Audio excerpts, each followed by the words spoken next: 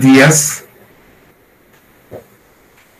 Esta es la cuarta y última conferencia del ciclo Radioastronomía Cometaria, en la que hablaremos sobre la exploración de cometas con radiotelescopios. Y presentaremos para ello un sencillo ejemplo de las características básicas de una exploración, de una observación de un objeto cometario con un radiotelescopio.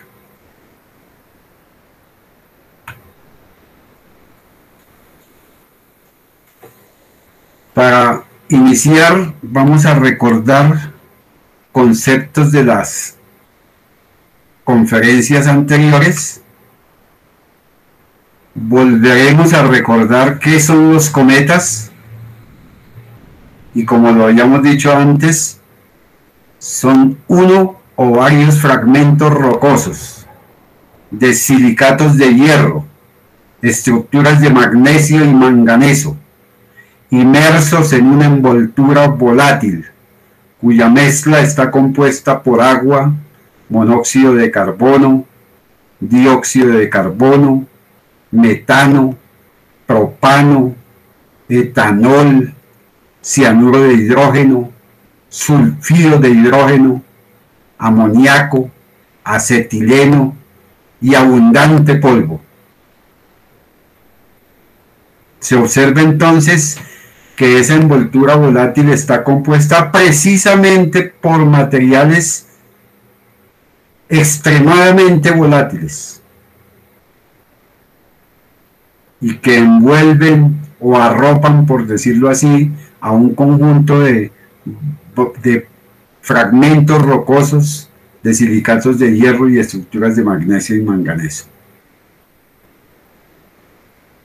En las imágenes podemos observar ese tipo de estructuras que en apariencia, en las imágenes de alta resolución tomadas por las sondas y las naves de exploración cometaria, en apariencia son objetos bastante sólidos, pero son en realidad estructuras como las que hemos descrito. Las características físicas de los cometas se originan y se desarrollan y se constituyen en fenómenos observables cuando el núcleo cometario ingresa al interior del sistema solar e interactúa con el viento solar. Eso quiere decir que un cometa en su órbita al interior del sistema solar desarrolla esos fenómenos observables, esos fenómenos cometarios observables. Pero con los resultados de, los últimos años de la investigación de la ciencia cometaria, podemos especificar un poco más eh, las etapas de este proceso de sublimación y actividad cometaria. El cometa, estando a una distancia de aproximadamente 40 unidades astronómicas, recordemos que Plutón, el planeta enano, está a 39 unidades astronómicas del Sol, o sea, como quien dice, a la altura de la órbita de Plutón, aproximadamente a unas 40 unidades astronómicas, un objeto cometario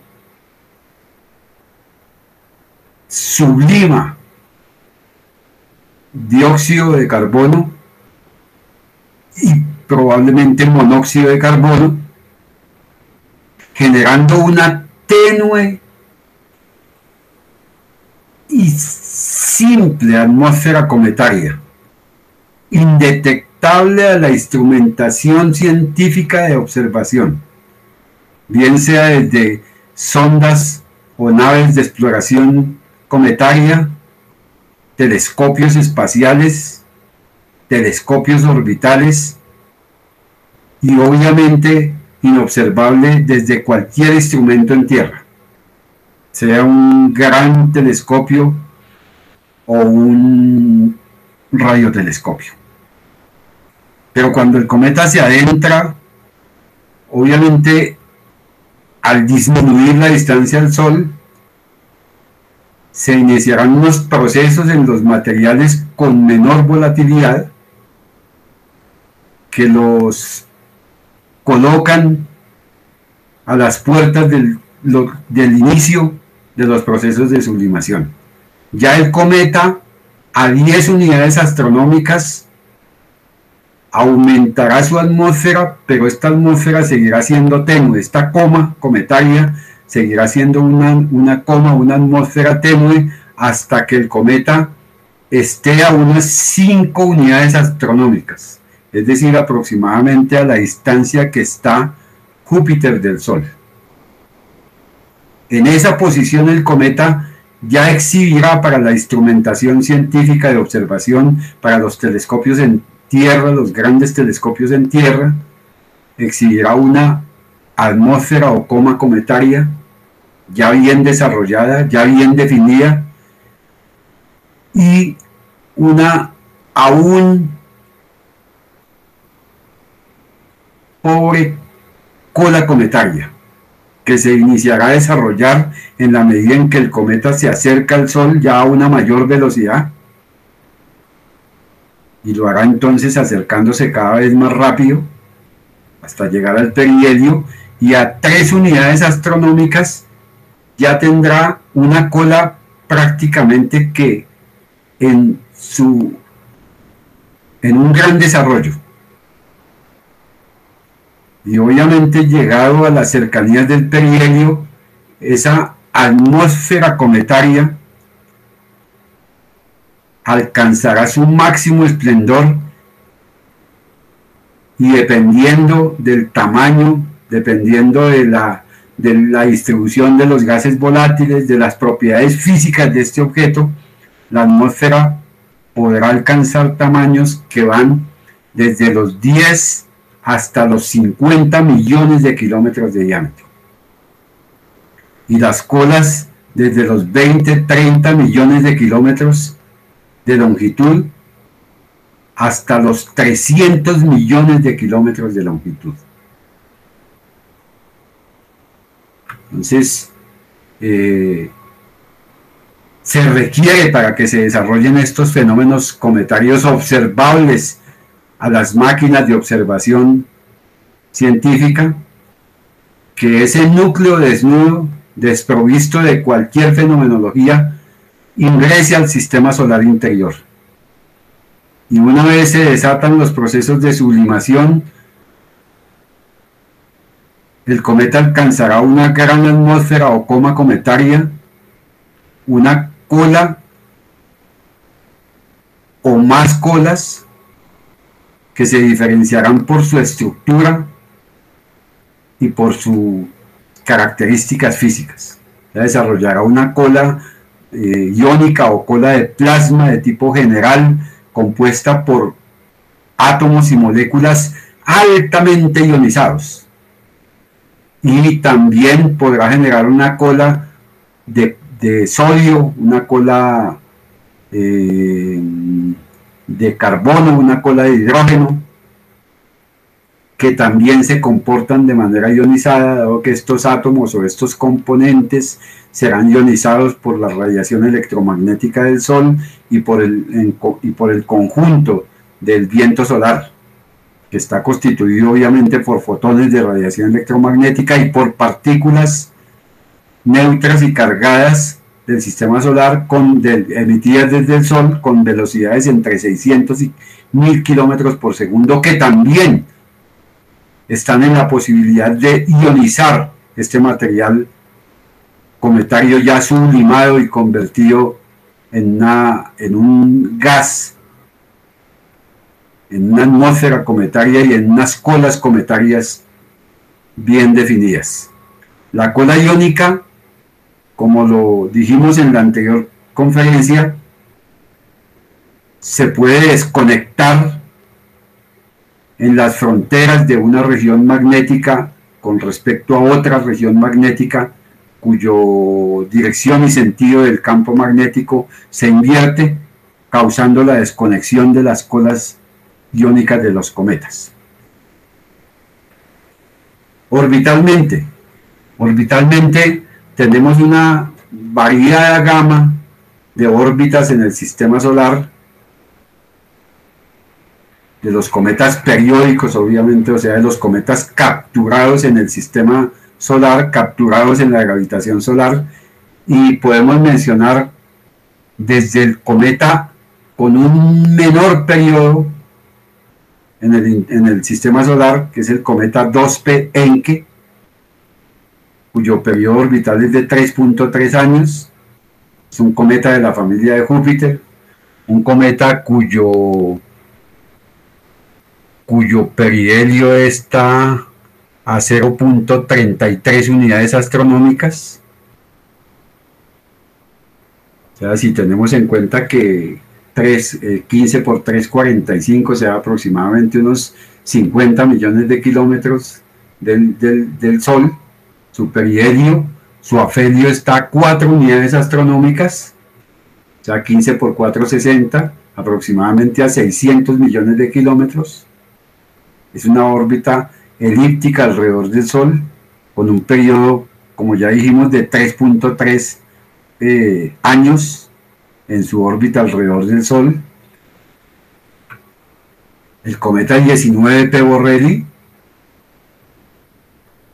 un cometa con un periodo orbital de aproximadamente 6.84, casi 7 años en su órbita alrededor del Sol y con un perihelio de aproximadamente 1.3, 1.35 unidades astronómicas y un afelio del orden de 5.8 unidades astronómicas. También un cometa de la familia de Júpiter muy interesante por, para el estudio y, para la ciencia cometaria, dada su estructura, dada la forma como ha venido agotando su material volátil, mm, también por su estructura y por su pertenencia a la familia de Júpiter, mm, sufre perturbaciones muy interesantes para el estudio de la mecánica de movimiento de los objetos menores del sistema solar. Eh, el legendario cometa Hyakutake, cuyo paso fue aproximadamente en el año 1996, y dado el tamaño de su coma, o sea, de su atmósfera cometaria y la, la cercanía a la Tierra en el paso orbital por el interior del sistema solar hizo que su atmósfera, su coma cometaria, envolviera a la Tierra en su, en su, en su gas que conformaba la, atmósfera cometaria. Un cometa con un periodo enorme de aproximadamente 108 eh, mil años con una excentricidad que tiende prácticamente a uno, pero se trata de un cometa periódico de larguísimo periodo orbital. Entonces, porque tenemos un perihelio de apenas 0,23 unidades astronómicas, pero un afelio de 4.543 unidades astronómicas. O sea, es un cometa que al tener esa distancia eh, como afelio, o sea, como punto más lejano al Sol, es un cometa que eh, ingresa al borde interno mismo del, disco disperso. O sea, ingresa también al cinturón de Kuiper. Eh, bueno, mencionemos brevemente, pero no a profundidad, la herramienta de la curva de luz de un cometa que se constituye una herramienta muy importante para el estudio fotométrico de un objeto cometario y a partir de él se pueden inferir propiedades físicas importantes de, de, los cometas. Entonces, la curva de luz de un cometa en realidad está constituida por tres gráficas. Aquí solo mostramos una. Una gráfica es, es en la que se puede graficar la magnitud observada en función del tiempo centrado en el periodo. Gráfica que no estamos presentando. Una segunda gráfica es la magnitud reducida o la magnitud heliocéntrica, que es lo mismo, en función del tiempo centrado en el perihelio. Tampoco la estamos exhibiendo, pero son gráficas que son muy importantes para estudiar los periodos de rotación del objeto cometario, para estudiar eh, la forma en que se distribuyen, aproximadamente tener una, una idea cualitativa de la forma como se distribuyen los volátiles en la estructura cometaria y algunas otras propiedades físicas. Y la tercera gráfica, que es la que presentamos aquí, en la que se grafica la magnitud heliocéntrica o magnitud reducida, que también se le denomina, en función del logaritmo de la distancia al Sol. Y entonces, ¿quién es la magnitud heliocéntrica o la magnitud reducida del cometa? la magnitud heliocéntrica es igual a la magnitud observada a la magnitud que se obtiene de las observaciones directas con las cámaras de los telescopios ópticos o de los telescopios infrarrojos, pero se debe colocar el, el subíndice ahí, si es infrarrojo, si es en el visible. normalmente para el visible se le deja solamente esta símbolo de magnitud observada. La magnitud observada tenía desde las imágenes eh, logradas con los telescopios en el visible, menos cinco veces el logaritmo de la distancia a la Tierra. Es decir, que a esa magnitud observada se, le resta el efecto geométrico que produce el mayor o menor acercamiento del cometa a la Tierra y por eso se le denomina magnitud heliocéntrica, porque al restarle cinco veces el logaritmo de la distancia a la Tierra, se está obteniendo una magnitud heliocéntrica del cometa como si hubiésemos situado el telescopio en el centro de la posición del Sol. Por eso se le llama también magnitud heliocéntrica, porque es como si se hubiese observado al cometa desde el centro del Sol. O sea, a la larga es un proceso de reducción, por eso también algunos astrónomos llaman a la magnitud heliocéntrica la magnitud reducida del cometa. En función del logaritmo de la distancia al Sol. Esa gráfica. Claro, los números que tenemos aquí no son el logaritmo de la distancia al Sol, sino que aquí se grafica el logaritmo de la distancia al Sol. Por ejemplo, el logaritmo correspondiente a 3. Se deberían de haber colocado esos números acá, pero por cuestión pedagógica se le colocó el número que se debe someter al logaritmo. Bueno, entonces, eh, ¿qué significado físico tiene esta gráfica? El cometa ingresa al sistema solar interior y lejos del Sol es un núcleo desprovisto de cualquier atmósfera y en la medida que se acerca al Sol, a una distancia para generalmente para cometas periódicos eh, del sistema solar, a una distancia aproximadamente, por ejemplo, como en la gráfica, de tres unidades astronómicas, se encienden los procesos de sublimación, que son, entre otras cosas, procesos bastante rápidos. En ese momento, puesto que a la larga si tenemos en cuenta el hecho de que a, aproximadamente a 40 unidades astronómicas se genera una tenue atmósfera inobservable, lo dijimos antes, eh, entonces los procesos desde ese punto de vista serían lentos. Pero hablamos de procesos rápidos en cuanto a que una vez está esas distancias entre 4 y 2 unidades astronómicas, el cometa rápidamente eh, inicia sus procesos de sublimación globalmente hablando, es decir, de todos sus componentes volátiles e inicia la formación de una gran atmósfera cometaria y entonces el núcleo tiene un comportamiento en la curva de luz y la atmósfera tiene otro comportamiento en la curva de luz. si analizamos la atmósfera por separado del núcleo cometario, entonces podrá, por ejemplo, seguir un camino como este. Raramente, rarísimamente un cometa tendría un retorno funcionalmente igual, es decir, un retorno fotométrico por el mismo camino. Difícilmente, nunca se ha observado ese, un fenómeno de ese estilo, por lo que normalmente decimos que el cometa puede retornarse por un camino fotométrico diferente, por ejemplo, como el camino 1. Y miren bien que si extrapolamos estos datos a esta curva, el cometa cesará sus, sus, procesos de sublimación más lejos de lo que iniciaron. Más lejos de lo que iniciaron. Entonces, ¿qué quiere decir eso?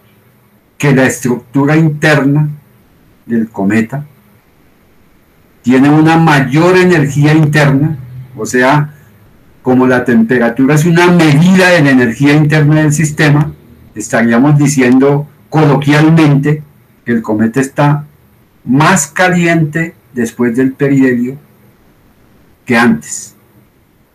Pero si por el contrario el cometa llega a su máximo y se retorna funcionalmente por un camino fotométrico como el camino 2, entonces observen que si extrapolamos el punto de corte con la posición, o sea, con el logaritmo de la distancia al Sol, de, donde se puede inferir la distancia a la cual cesaron los procesos de sublimación cometaria, entonces habrían acabado a una distancia menor que la que iniciaron los procesos. De tal manera que podríamos decir coloquialmente que el cometa se halla a una menor temperatura después del perihelio que antes. Es decir, digámoslo un poco mejor, el cometa se halla a una temperatura menor después del perihelio que antes.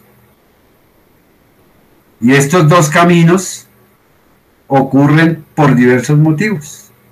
Por ejemplo, que esté a una menor temperatura implica que de pronto en el camino eh, de inicio de la formación de la atmósfera eh, se generó demasiado polvo, el cometa tiene una cantidad enorme de polvo en la superficie y al generarse toda esa cantidad de polvo en la atmósfera bloquea la radiación electromagnética, lo que hace que llegue menos radiación electromagnética y que el objeto adquiera una menor energía interna.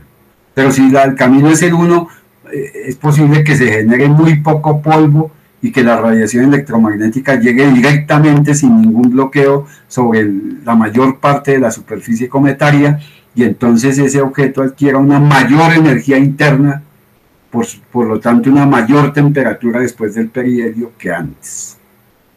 Pero también pueden haber recalentamientos a causa de un efecto invernadero. Bueno, eso es muy, muy complejo. Hay que eh, utilizar diversos métodos conceptuales y matemáticos y otras herramientas adicionales de la física para poder establecer con certeza cuáles son los rasgos físicos fundamentales que dominan esos procesos cometarios. Por otro lado, el núcleo tiene una conducta, observen, lineal. No todos los cometas, pero la mayoría de cometas periódicos un buen porcentaje de cometas periódicos tienen una conducta lineal. Entonces quiere decir que esta se comporta de manera lineal estos datos cuando se toman fotométricamente para el núcleo. Y entonces en ese caso, esta curva, en el caso de la atmósfera, esta curva no es una curva lineal, pero en el caso del núcleo, un buen porcentaje de cometas, que llamamos cometas con curva de luz proporcional, y que son cometas en los que no se han establecido muy bien quiénes son los responsables de los procesos de sublimación cometaria, quién es el, que, el componente que domina, si es el agua, si es el monóxido de carbono, si es el amoníaco, bueno, no se ha establecido. Y esos cometas de curva de luz proporcional, esa es su característica. No se sabe quién o cuál de los componentes volátiles dominen los procesos de sublimación cometaria. Pero esta curva de luz entonces es de carácter lineal y observen que entonces la curva de luz para el núcleo permite deducir la pendiente y la pendiente de esta curva entonces sería 2.5n, lo que permite establecer quién es n.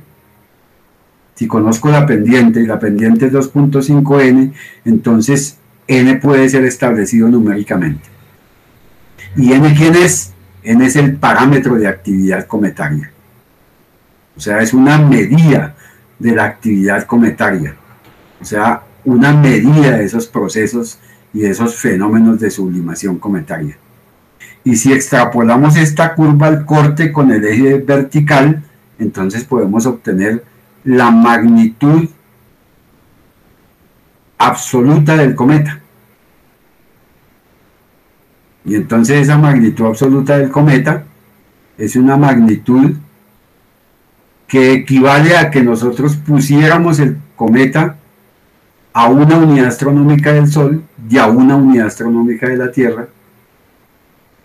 Y entonces el cometa tendría esa, esa determinada magnitud que se llama la magnitud absoluta. O sea, es un parámetro mm, que se infiere desde, desde el análisis de datos Nunca vamos a tener un cometa a esas distancias de una unidad astronómica del Sol y una unidad astronómica de la Tierra, sino que se extrapola para poder saber cuál es esa magnitud absoluta del cometa. Y entonces tenemos así la curva de luz del cometa, que va a ser muy importante a la hora de, fusionar las diversas eh, eh, observaciones ópticas radioastronómicas, observaciones desde sondas espaciales, eh, modelos teóricos de simulación y fundirlos en un solo eh, formalismo conceptual y matemático para tratar de dar los pasos en la construcción de un modelo unificado de actividad y evolución de los núcleos cometarios. Pues, ¿Cómo se observa en la longitud de onda de 18 centímetros? Que equivalen, recordémoslo de nuestra conferencia anterior, a 1667 megahertz. Nos preguntamos, bueno, ¿y cómo se observa en esa longitud de onda de 18 centímetros? Entonces se observa con una cualquiera de esas máquinas de observación científica que permiten observar radioastronómicamente diversos objetos del universo y que en este caso lo vamos a utilizar por sus prestaciones para observar cometas. Cuando hablamos de sus prestaciones queremos decir que entre la variada gama de prestaciones que pueda tener el radiotelescopio para observar diversos objetos del universo, puede sintonizarse en 18 centímetros y en 18 centímetros pues podemos observar medio interestelar, medio interplanetario, podemos observar atmósferas planetarias y entre otras podemos observar atmósferas cometarias. Pero cualquiera de, estas, de estos objetos astrofísicos que observemos en 18 centímetros, lo que estamos haciendo es observando las transiciones entre estados hiperfinos del radical OH. Ya me refiero a que si nosotros sintonizamos un radiotelescopio en 18 centímetros, podemos observar esos eventos físicos, esas transiciones entre estados hiperfinos, concretamente las transiciones que ocurren desde un estado hiperfino superior a un estado perfino fundamental del doblete lambda de la molécula OH. Puede ser en una atmósfera planetaria, en una atmósfera, en un medio interplanetario, en un medio galáctico, o puede ser en un cometa. Entonces, como estamos hablando de radioastronomía cometaria, pues decimos, ah, bueno, si vamos a sintonizar esa máquina de observación científica, u otra máquina de observación científica como el Observatorio de Nancy en Francia, que también se puede sintonizar en 18 centímetros o en 1667 megahertz, pues vamos a observar entonces esas transiciones de la molécula OH en las atmósferas cometarias, concretamente en, una, en la atmósfera de un cometa. ¿Y para qué lo hacemos? ¿Para qué sintonizamos un, un radiotelescopio de esos en 18 centímetros o en 1667 MHz? Para poder calcular, para poder estimar la tasa de producción de moléculas de OH. ¿Y cómo lo hacemos concretamente?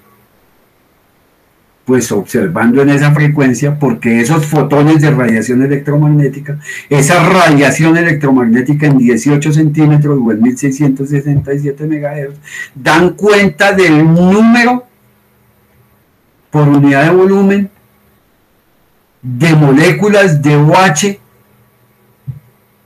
que efectúan transiciones entre el estado hiperfino superior del doblete lambda al estado hiperfino fundamental.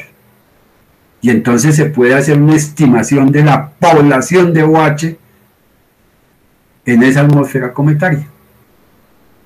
Y como la molécula de OH proviene de la disociación del agua, del H2O, en H más OH, también por ese mismo camino podemos inferir la tasa de producción de agua en los cometas. Pero volvamos a hacer énfasis.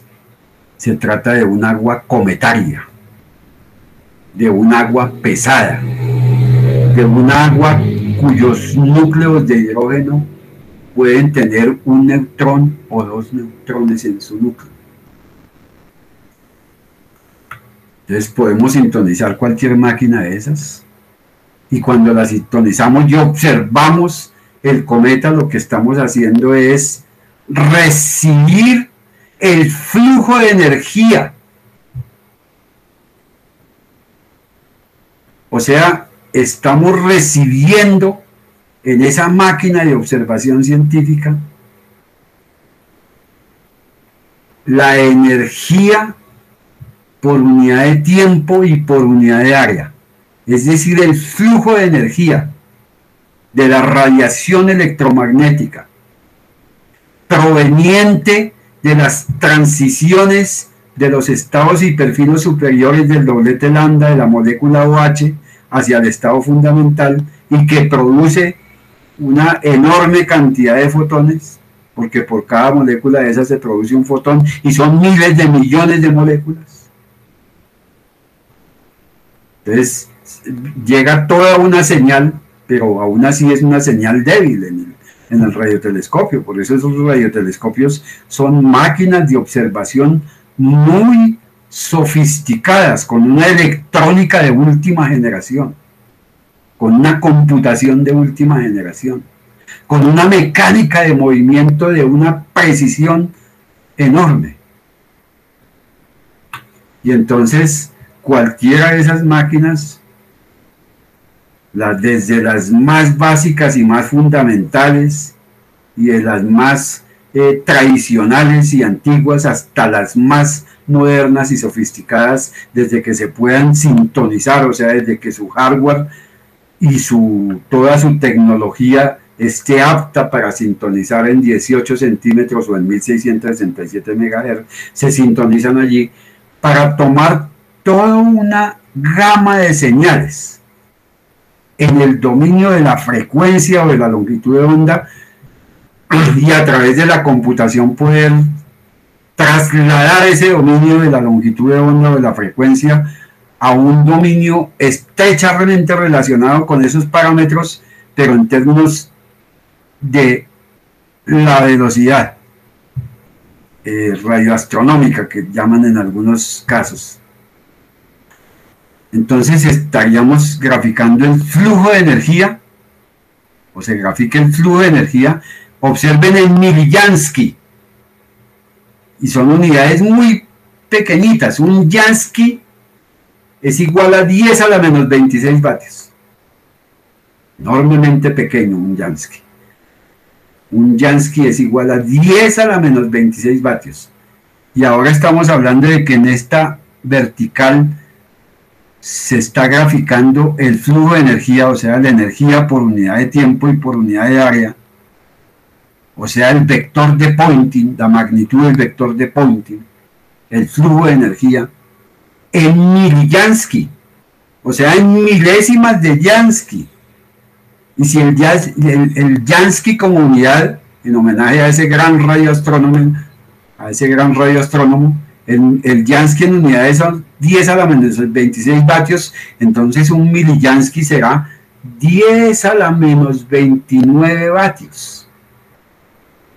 O sea, las máquinas de observación deben de ser muy sensibles y la posibilidad de amplificar esas señales debe ser muy elevada y de muy buen desempeño. Y entonces se obtiene a lo largo de una banda que puede ir, en nuestro caso, desde los 1665 MHz hasta los 1669 MHz. Y esa señal, pues obviamente, tiene que utilizarse un software o, con un lenguaje de programación que hoy por día generalmente es el Python. Entonces se le extrae el ruido, se le, se le resta pues el ruido del cielo o sea que con los mismos radiotelescopios se debe de, tener un espectro del ruido del cielo, se debe tener también eh, un espectro del ruido de la electrónica de esa máquina, eh, se debe tener un espectro del ruido de la región del cielo donde se está observando el cometa, el ruido proveniente de otros objetos que pronto emiten en frecuencias eh, muy cercanas a 1667 MHz. Y con todos esos espectros de ruido lo que se hace es limpiar el espectro del objeto. O sea, restarle el ruido del cielo, restarle el ruido de la, de la electrónica de la, de la máquina de observación científica, restarle el ruido del medio interestelar que pueda producir ruido en 1667 MHz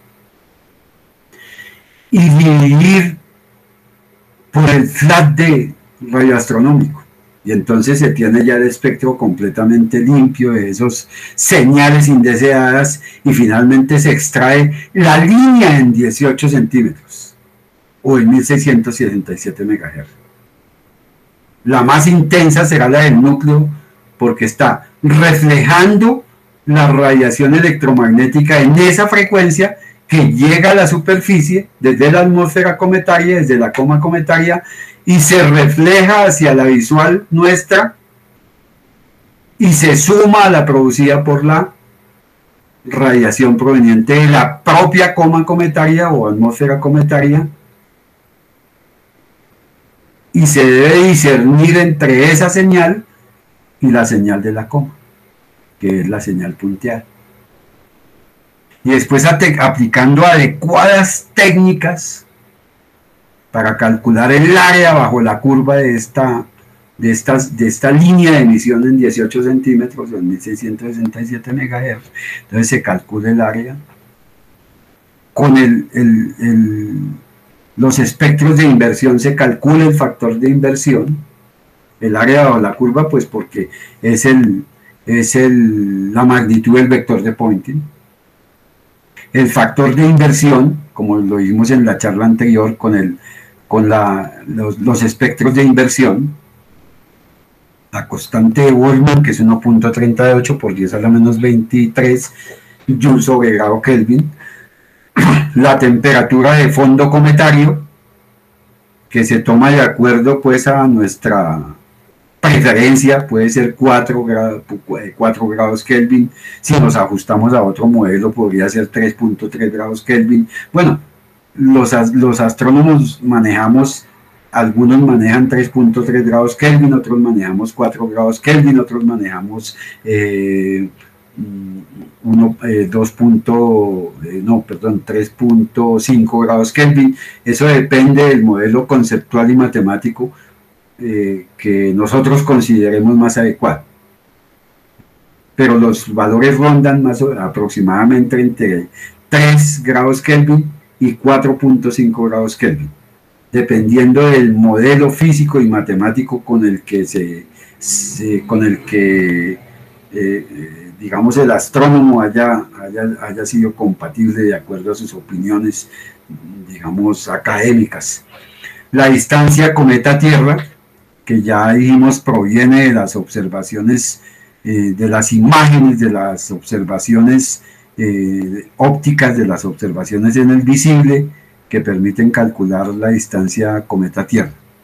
Sé que es la rapidez de las ondas electromagnéticas en el vacío, B que es la máxima, que es la velocidad máxima de expansión de, del gas en la coma, la frecuencia de la radiación electromagnética en la que se observa, el peso estadístico del nivel superior, que es una cantidad que se calcula desde la estadística cuántica, la tasa de producción de OH y el tiempo de vida media de la molécula de OH. Entonces, de esa expresión que tenemos ahí,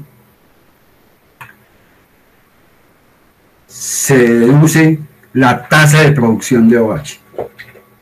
Poniendo valores ahí, dejamos libres los del valor de la de la velocidad de expansión, la magnitud del vector de Poynting, la temperatura de fondo, el tiempo de vida media, pero digamos que esta, esta expresión, eh, sus unidades corresponden a moléculas por segundo. Pero en realidad cuando se hace la primera gráfica inicial para comenzar el proceso de estudio radioastronómico del objeto cometario, entonces se calcula la tasa de producción de agua con este gran promedio surgido de la observación. Que es un gran promedio surgido de la observación que me dice que por cada 555 moléculas de agua en promedio, se disocia entonces, o sea, de, de cada 555 moléculas de agua, una se disocia. Entonces, la tasa de producción de agua, por supuesto, será 555, que es la cifra que generalmente se toma, por la tasa de producción de OH que la calculamos con las observaciones radioastronómicas y multiplicamos por 3 por 10 a la 26 para pasar de moléculas por segundo a kilogramos por segundo multiplicamos moléculas por segundo por kilogramos por molécula y entonces me queda la cifra en kilogramos por segundo.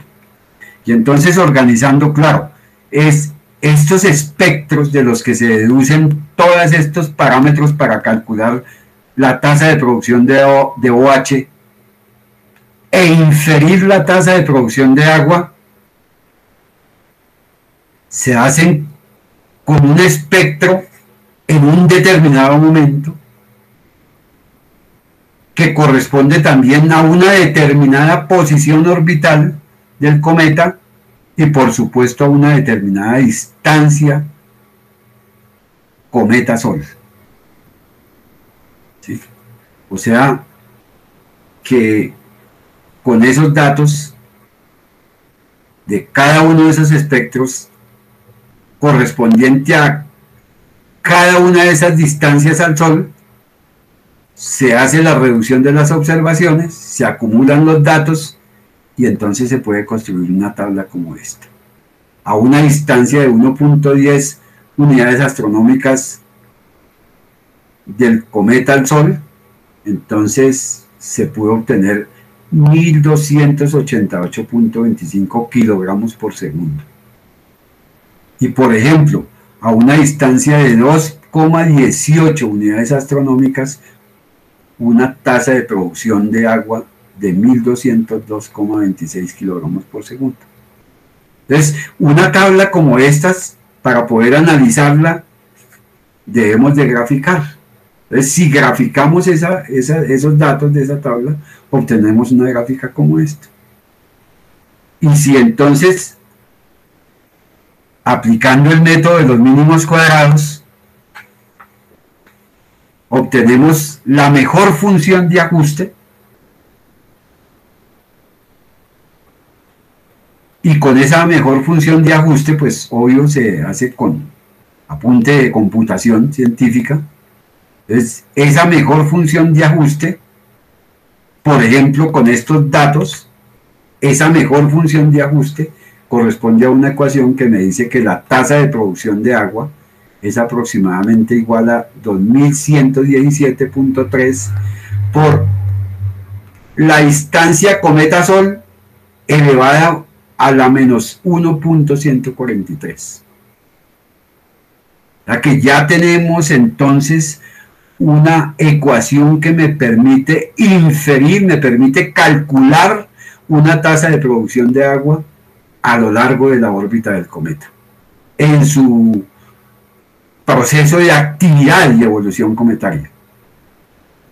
Entonces, esa ecuación va a ser muy importante porque me va a permitir acotar la curva de actividad y evolución cometaria, que entre otras es una curva que eh, reúne diversos conceptos de la física cometaria y que trata de constituirse en los primeros modelos unificados de evolución y actividad del núcleo cometario.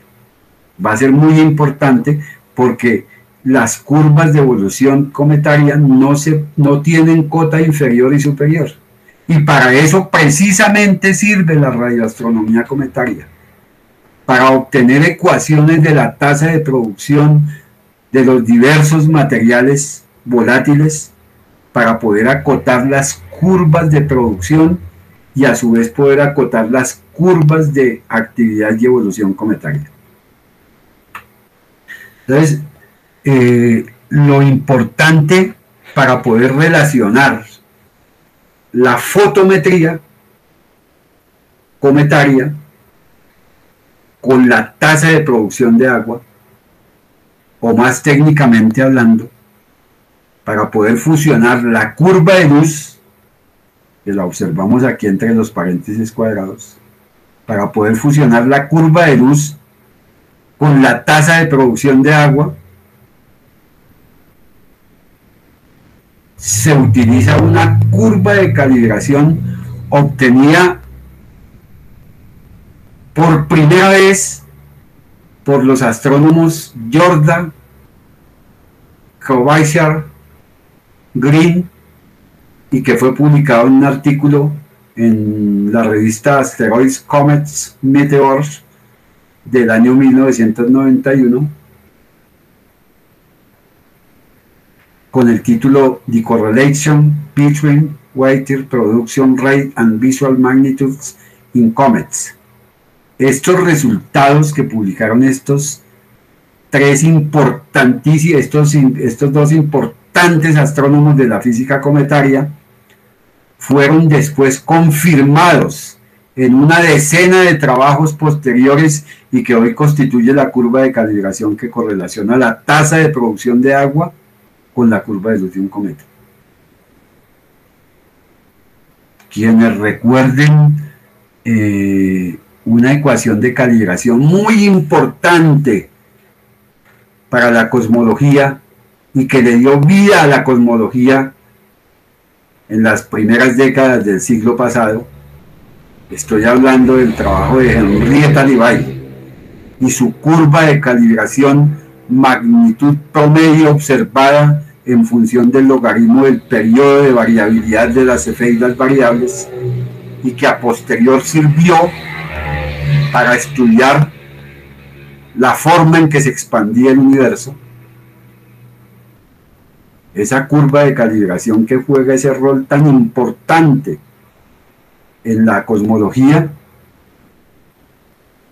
se puede comparar entonces esta curva de calibración de la física cometaria, juega un rol análogo en la física cometaria esta curva de calibración con la curva de calibración que, la, que o sea, juega un rol análogo al que juega la curva de calibración de Henrietta Leavitt allá en la cosmología. Por eso esta curva es muy importante. en el, estudio de los cometas, porque es una curva de calibración bastante importante para ah, fusionar los modelos de las ecuaciones de balance de energía, las ecuaciones de curva de luz, los datos radioastronómicos, los datos de observación con sondas, o sea, de, prácticamente fusionar todas las observaciones y modelos conceptuales y matemáticos que tenemos a mano para poder entonces producir unos resultados de análisis, interpretación eh, de, los, de la física de los objetos cometarios. Las observaciones que condujeron a estos resultados. Vamos a ver las gráficas originales que tomaron entonces muchos astrónomos y que confirmaron la de esos pioneros, eh, Jordan y Kawishar.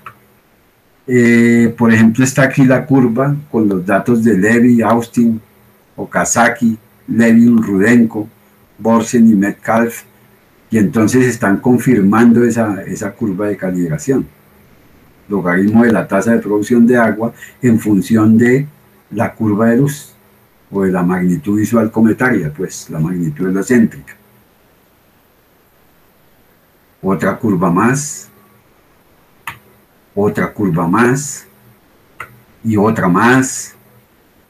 Entonces fueron esa primera eh, hipótesis precursora de estos astrónomos fue confirmada suficientemente bien y por eso esa curva prácticamente se está constituyendo en un estándar o ya está constituida en un estándar en la física cometaria. Entonces, ¿qué se hace con esa curva? Con esa, con esa, con esa curva de calibración. Pues, eh, eh, en principio nosotros tenemos aquí una, una, ecuación de balance de energía. La energía que recibe el cometa y la que emite. Y, bueno, ¿y qué parámetro encontramos aquí? Aunque no la entendamos muy bien, vamos a explicar cuáles son los parámetros eh, que se hacen presentes en esta ecuación de balance de energía. A sub B es el albeo en el visible, que es una medida, es una, una medida de la capacidad que tiene la superficie, o sea, de la, de, la, de la respuesta que tiene la superficie cuando incide radiación electromagnética visible sobre la superficie del, cometa. O sea, ese factor que va de, de 0 a 1 es un escalar adimensional. Eh, lo que me está diciendo es la eficiencia con que la superficie del núcleo cometario refleja radiación electromagnética en el rango visible del espectro electromagnético la magnitud del vector de Poynting, o sea, como quien dice el flujo de energía.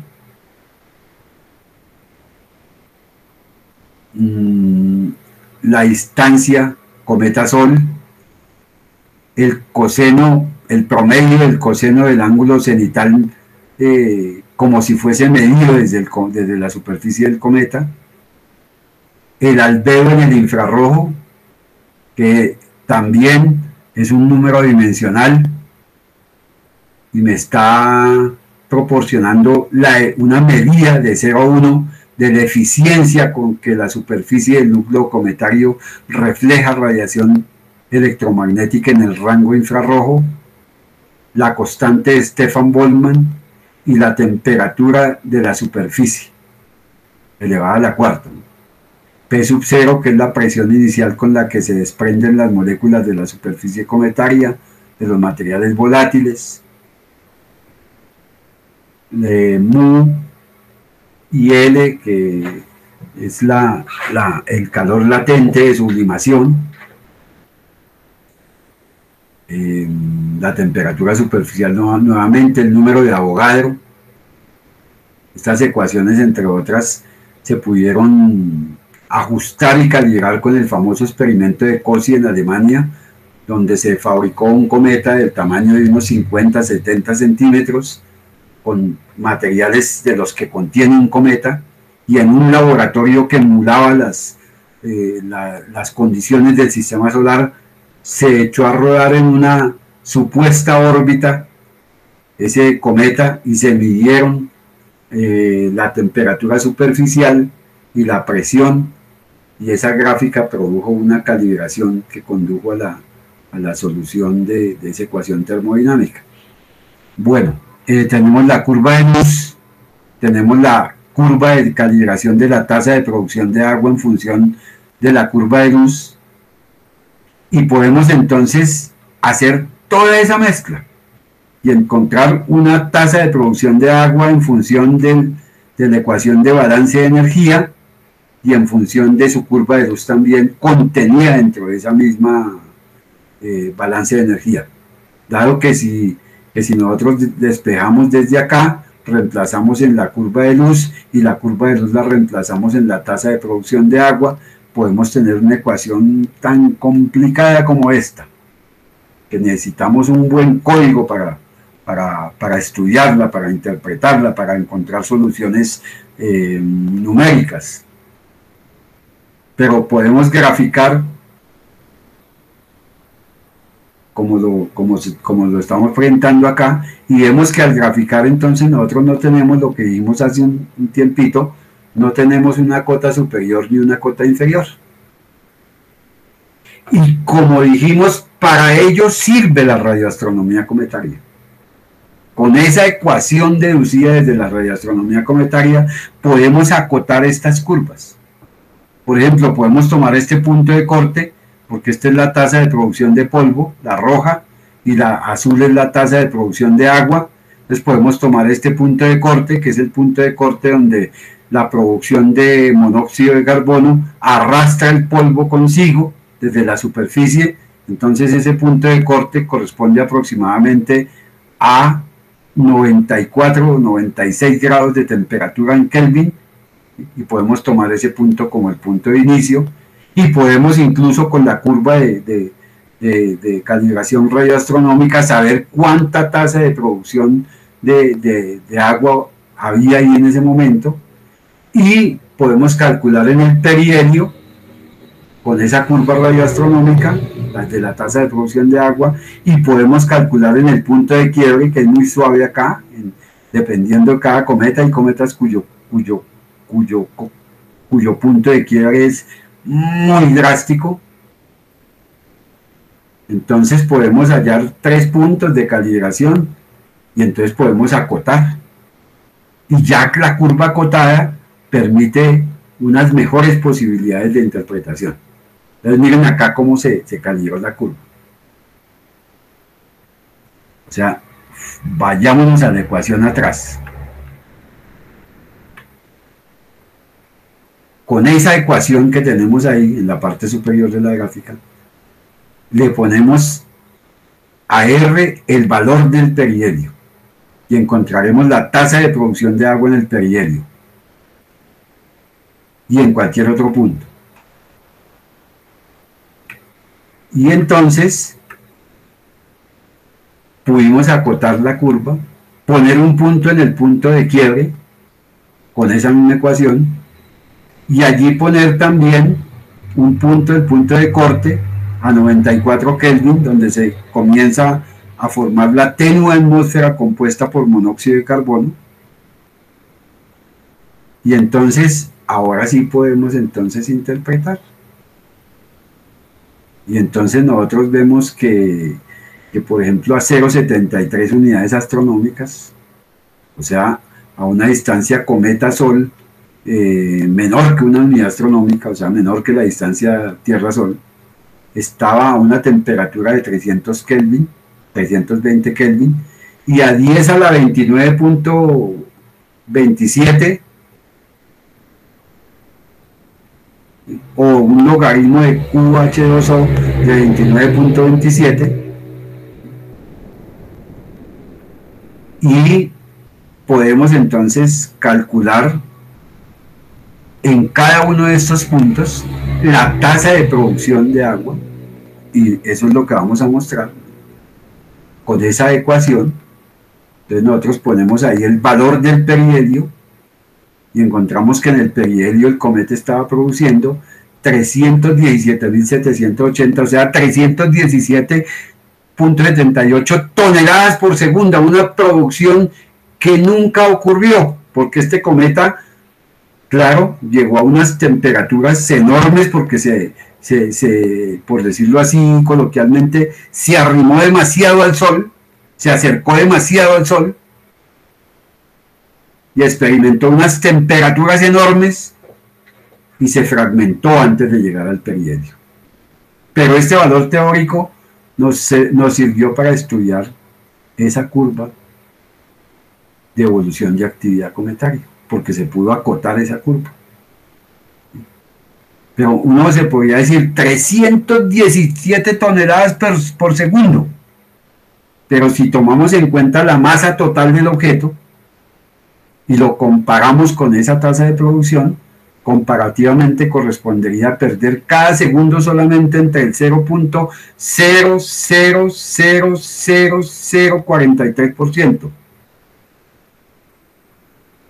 y el 0.000003% de su probable masa total. Pero a la hora de efectuar la interpolación, para poder manejar bien la curva, tenemos que pasar a moléculas por segundo, o sea, devolvernos, como quien dice, a los valores que teníamos por ahí atrás, y lo hacemos, y entonces ahora sí tenemos nuestra curva completa con todo los, lo que nos permitió la radioastronomía. Y entonces aquí tenemos el punto de sublimación de los hielos de, dióxido de carbono a 41 unidades astronómicos. ¿Y por qué se cruza con la tasa de producción de polvo? Porque la, el, el, el CO2 que se sublima sale con la presión suficiente para arrastrar el polvo. Y entonces el cometa comienza a producir polvo ahí, mínimo, pero lo comienza a producir. Avancémonos bien adentro del sistema solar interior, a 0,73 unidades astronómicas. Y entonces calculamos cuál es su tasa de producción de agua. Aproximadamente 5.6 toneladas por segundo. Normal. Eso ocurre en cualquiera de los cometas que se han observado en el pasado, en décadas pasadas. Es una producción, una tasa de producción de agua normal 5,6 toneladas por segundo. Normal. Llegamos a otro punto donde está el corazoncito que he puesto acá. A 0.098 unidades astronómicas. Entonces, con una temperatura de 380 Kelvin y una tasa de producción de agua que ronda los 10 a la 30 moléculas por segundo. Entonces, que, que equivale, entre otras cosas, a 30 toneladas por segundo. También es una cifra normal. Cometas como el Halley, por ejemplo, cometas como el Ikeyaseki, cometas como, por ejemplo, el, West, eh, produjeron esas tasas de producción de agua en esos puntos, en sus órbitas. Incluso a la distancia inmediatamente o cercana a la, que ocurre el momento de su fragmentación, estaba produciendo 79.5 toneladas por segundo, a 0.042 unidades astronómicas. También normal, el Halbut llegó a producir 80 toneladas por segundo después del perihelio. Y pasó a un perihelio mucho mayor que este cometa. Entonces no es... Pero lo que ocurre es que este cometa se acercó hasta esa distancia de 0.0, por aquí está la distancia, 0.012 unidades astronómicas, aproximadamente como, como no, recuerdo, bueno, pero eh, es una, una distancia muy cercana, y entonces el cometa ahí produciendo 79.5 toneladas por segundo, cuando desaparece detrás del disco de oscuración de las cámaras de observación solar, se fragmenta y no lo podemos observar porque lo hace detrás del disco de las cámaras de observación. O sea, el, del, del, del disco eclipsante del Sol. Entra detrás de ese disco, perdemos de vista el cometa, pero él una vez pasa el, disco de osculación, o sea, tengamos en cuenta las debidas proporciones, pasa, se fragmenta y llega a su perihelio fragmentado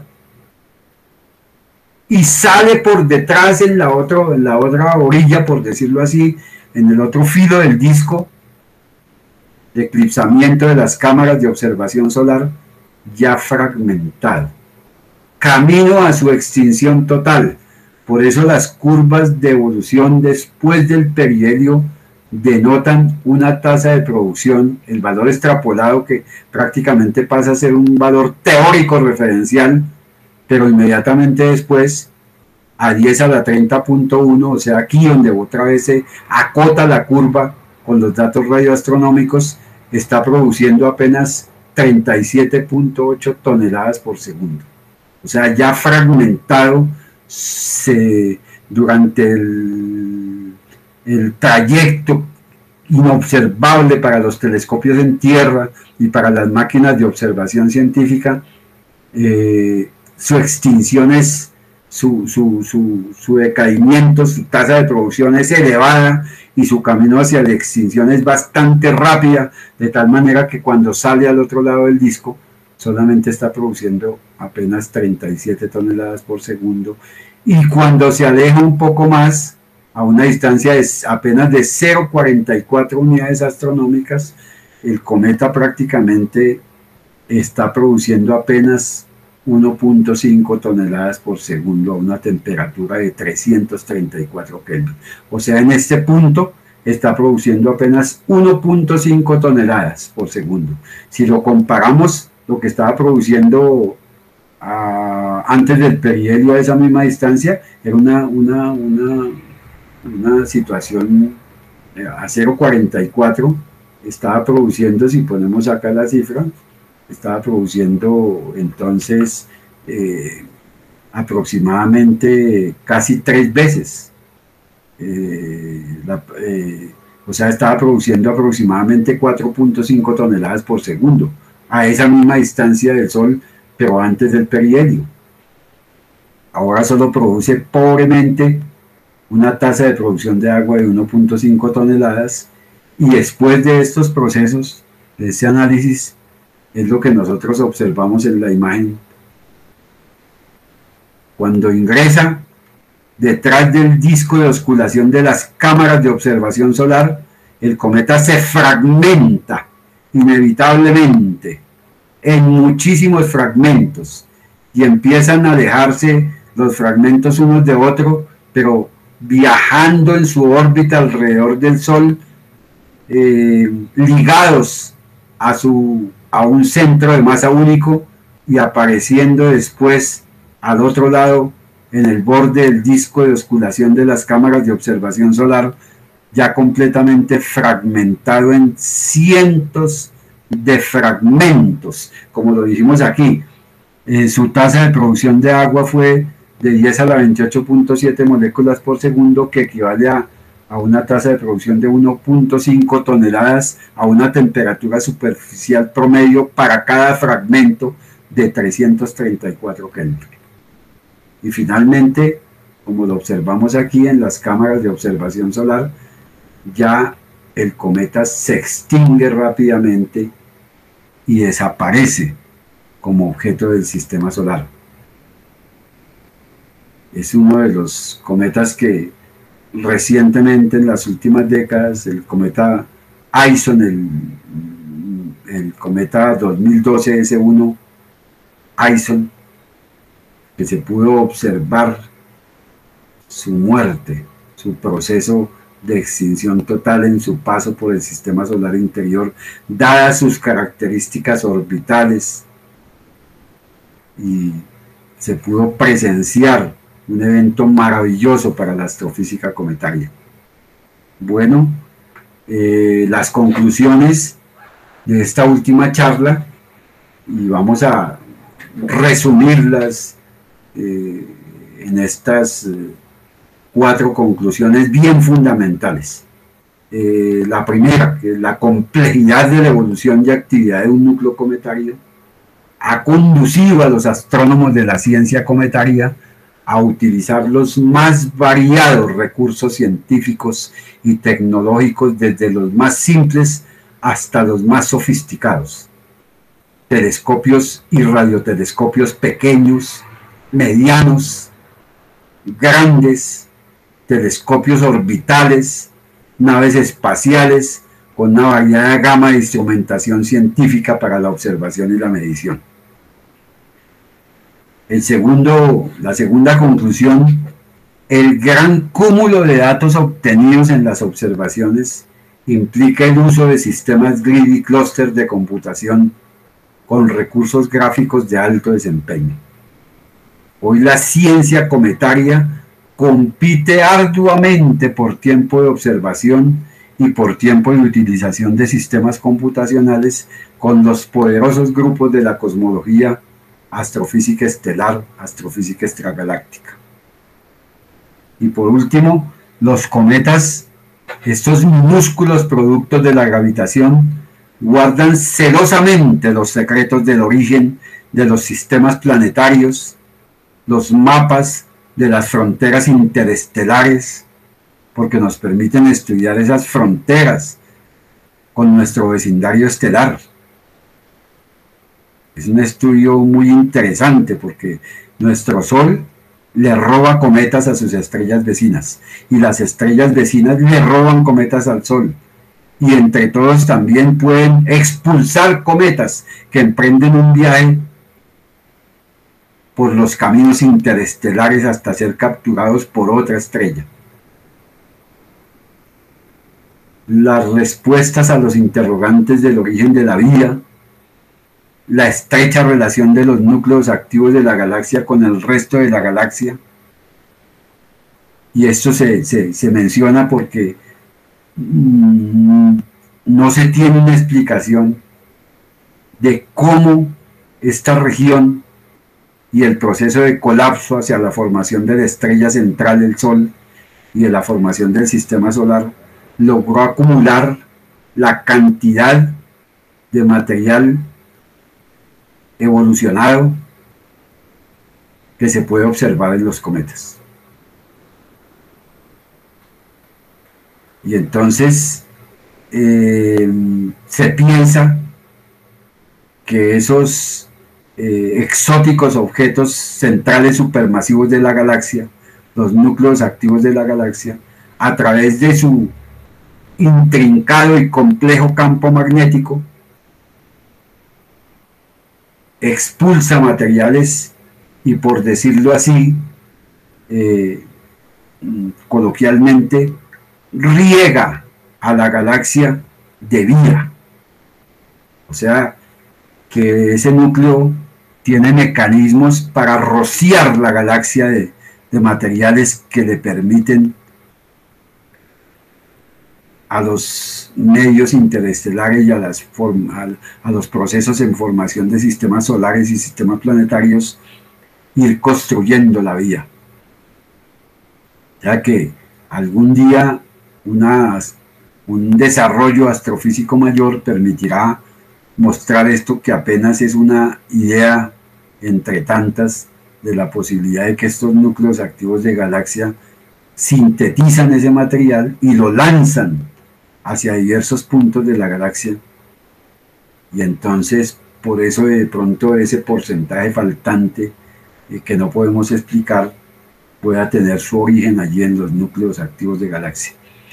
Eh, también entonces estos objetos contienen incluso pistas que permitirán completar una, una mejor percepción del universo.